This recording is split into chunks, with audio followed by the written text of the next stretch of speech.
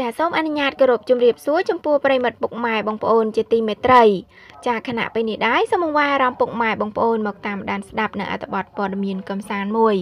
ចាក្រោមចំណងជើងថាកូនមួយហើយតែផិនសូដាលី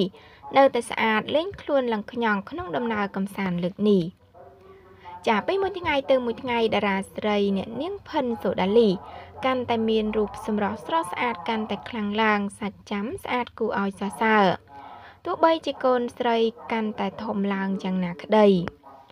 ចាយ៉ាងណាមិញឃើញថាជីវិតតារាស្រីរូបនេះនាពេលបច្ចុប្បន្នពោពេញដោយភាពរីករាយនិងស្នាមញញឹមខ្លាំងជាមួយកូនស្រីរាល់ពេលទំនេរនាងតែងតែដើរលេងកំសាន្តនៅក្រៅប្រទេសនៅក្នុងចានឹងក្នុងប្រទេសជាច្រើនកន្លែងជាមួយនឹងការផ្ដិតយករូបភាពយ៉ាងស្រស់ស្អាតតែម្ដង។ ចាជាក់ស្ដែងកាលពីពេលថ្មីថ្មីនេះតារាស្រីរូបនេះបានធ្វើការដើរលេងកំសាន្តនៅលើទឹកដីខ្មែរជាមួយនឹងទេសភាពទឹកសមុទ្រយ៉ាងខៀវស្រងាត់តែងខ្លួនយ៉ាងថ្ញង់ស្រស់ស្អាតគួរឲ្យចាប់អារម្មណ៍ដែលធ្វើឲ្យអ្នកគាំទ្រជាច្រើនសរសើរដល់នាងគ្រប់គ្នាតែម្ដង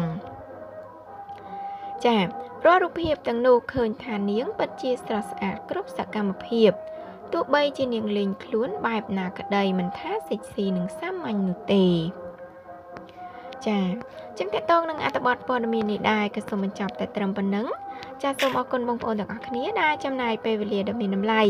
តាមដាននៅព័ត៌មានពី Channel នេះខ្ញុំផងដែរចាជាចុងបញ្ចប់សូមបងប្អូនជួយចុច Subscribe និងសញ្ញារូបកណ្ដឹងដើម្បីទទួលបានព័ត៌មានថ្មីៗជារៀងរាល់ថ្ងៃពី Channel នេះខ្ញុំផងដែរចាសូមអរគុណសូមគោរពលា